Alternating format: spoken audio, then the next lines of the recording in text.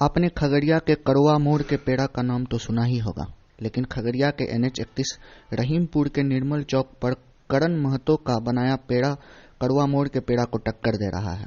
यहाँ लोग खगड़िया, बेगूसराय और मोकामा तक से पेड़ा खरीदने आते हैं। यहाँ चीनी वाला पेड़ा और शुगर फ्री पेड़ा भी मिलता है। चीनी वाला पेड़ा तीन सौ बीस रुपये प्रति किलो और बिना चीनी वाला पेड़ा चार सौ रुपये प्रति किलो तक मिलता है।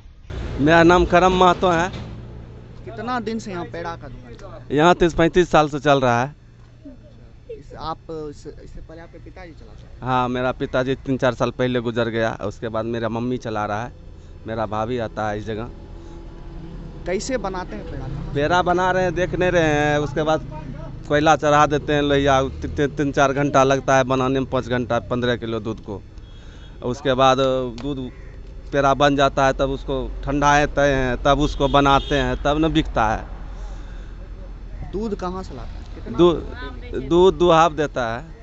डेली कितना दूध का? दूध पच्चीस तीस किलो ले लेते हैं। डेली कितना पेड़ा बनता है? पेड़ा पाँच सात किलो बन जाता है। हर दिन में शाम तक में तैयार होता है पाँच सात किलो पेड़ा।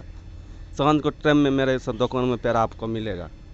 दिन भर। कहाँ कहाँ से लोग आते हैं? कहाँ से आते हैं? खगड़िया से आते हैं बेगूसराय से आते हैं।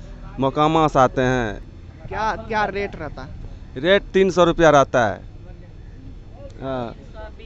तीन सौ बीस रहता है। जो कम चीनी लेता है उसको चार सौ देते हैं। मतलब अलग अलग बिना चीनी वाला? बिना चीना भी ला चार सौ रुपये किलो देते हैं। और चीनी वाला तीन सौ बीस देते हैं।